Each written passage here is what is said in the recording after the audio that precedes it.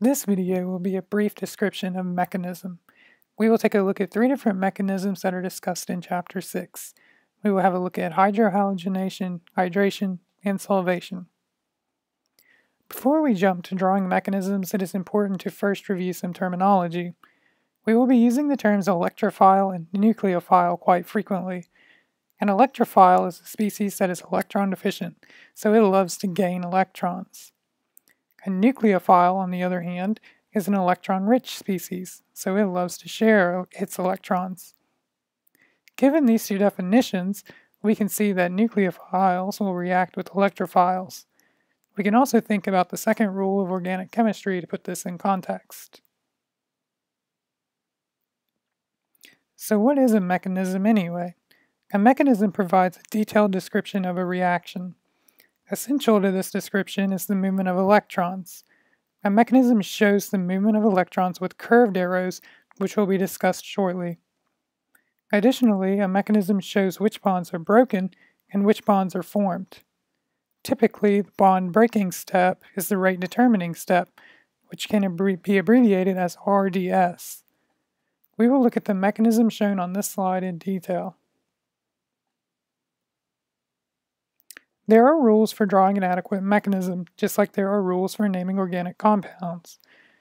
It is important that the appropriate arrows are used in order to convey the information to another person. Notice that we have arrows for reactions, equilibrium, resonance, retrosynthetic analysis, and movement of electrons. Let's look at the arrows that involve the movement of electrons. Be sure to differentiate between the arrow that moves a pair of electrons in the arrow that moves a single electron.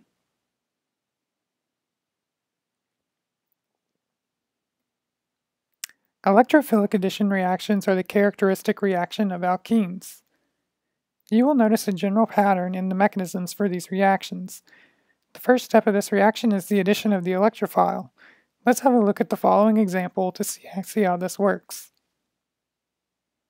Since we are adding HCl, this is a hydrohalogenation reaction. Let's identify the nucleophile and the electrophile in this example. Recall that a nucleophile is an electron-rich species. Which species is electron-rich? The alkene is electron-rich due to its double bond. Which species is electron-deficient? Hydrogen is electron-poor, so it is the electrophile. Keeping the second rule of organic chemistry in mind, we can draw a curved arrow to show the movement of a pair of electrons. The electrons from the nucleophile move to the electrophile, which causes the bond in HCl to break. The pi bond breaks, and the electrophile adds. What product does this give us? Well, the first step involves the addition of the electrophile, so the hydrogen will add, and we will get a carbocation. Also note that we get a chloride ion, which is important for the next step of the reaction.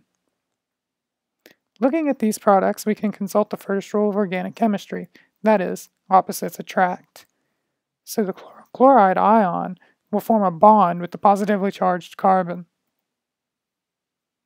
Now let us put this product all the way together. The product of this reaction is 3-chlorohexane.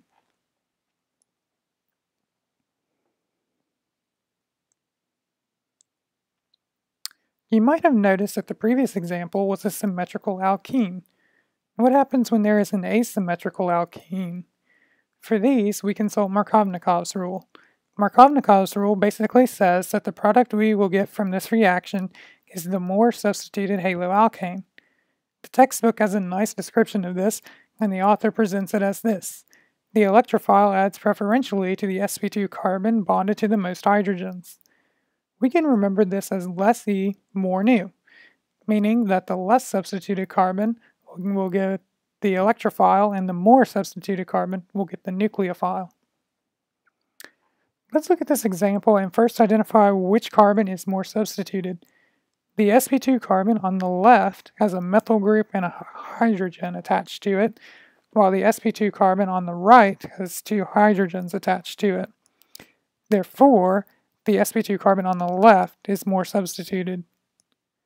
This means that the other carbon is less substituted. Looking at the products, why is the major product the major product?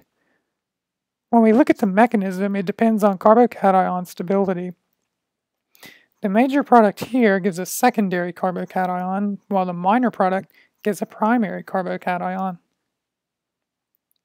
Recall that a secondary carbocation is more stable than a primary carbocation, hence why we get the major product.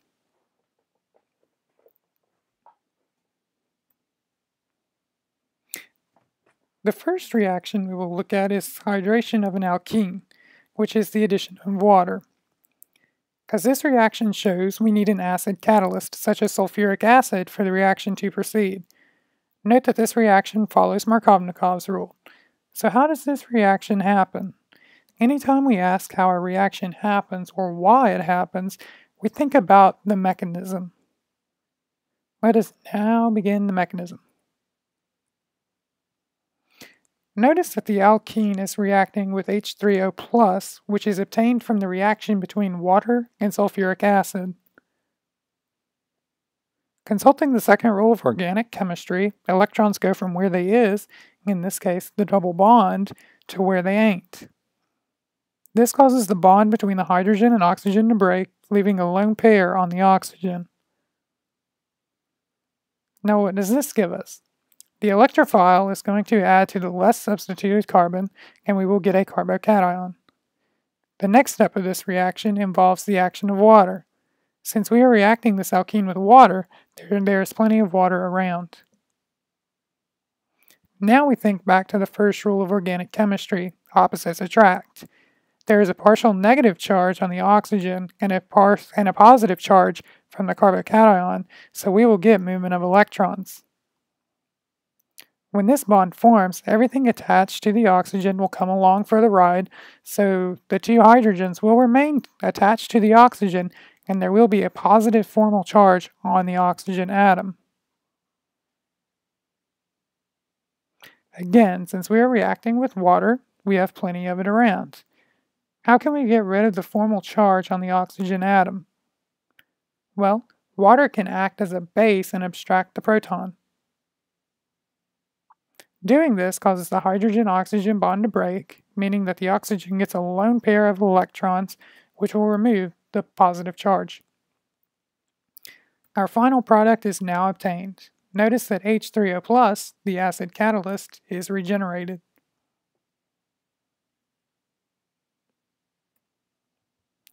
The next reaction we will look at is solvation, which is the addition of an alcohol to an alkene. Notice by the reaction shown here that this requires an acid catalyst, just like in hydration. Also similar to the hydration reaction, this reaction follows Markovnikov's rule. How does this solvation reaction happen? The answer, mechanism. For this example, we will see how the alcohol reacts with sulfuric acid first, and then we will go into the mechanism for the addition to the alkene. Just like we have been doing, the electrons from the nucleophile will grab the electrophile, which causes the hydrogen-oxygen bond to break as well. Then we get our products, which consists of a protonated alcohol and the conjugate base of sulfuric acid. The protonated alcohol will react with the alkene since it is electrophilic.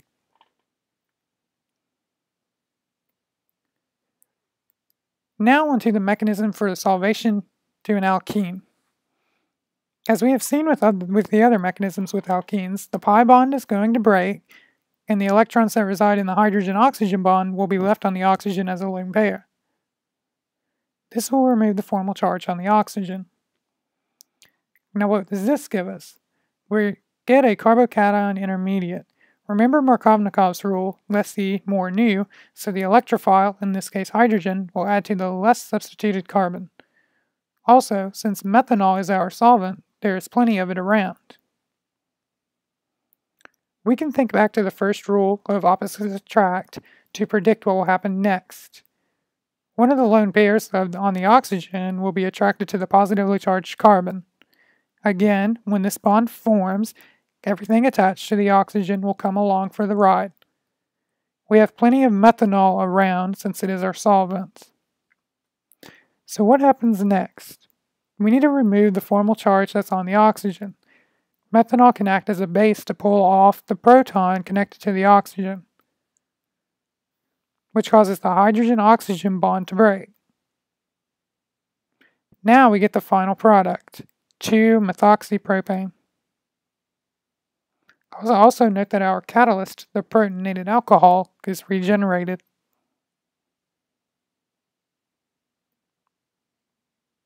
Carbocations can rearrange if a more stable carbocation can be formed. Recall that a tertiary carbocation is the most stable, while a methyl carbocation is the least stable.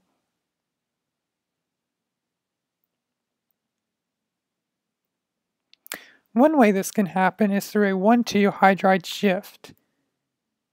This is the movement of a hydrogen atom. When we look at this reaction here, we can see that the expected Markovnikov product is the minor product and another product is the major product. How does this happen? We turn to the mechanism to answer this question. First, the pi bond is going to break, causing the HCl bond to break. The electrophile will add and we will get a carbocation intermediate. Let's classify this carbocation.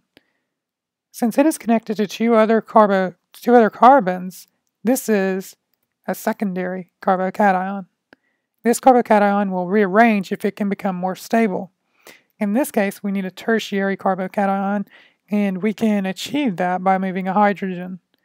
Moving this hydrogen gives us another carbocation intermediate, Let's now classify this carbocation. It is connected to three carbons, so it is a tertiary carbocation, which is more stable than a secondary carbocation. Also note that chloride is present from the first step of this reaction. We know that opposites attract, so the chloride ion will be attracted to the carbocation, and we will get our final product. This is how we get the major product of this reaction. Another way carbocation rearrangement can occur is through a 1,2 methyl shift. This is where the movement of a methyl group occurs. The mechanism is similar to the 1,2 hydride shift, but here we are now moving a methyl group instead of a hydrogen atom.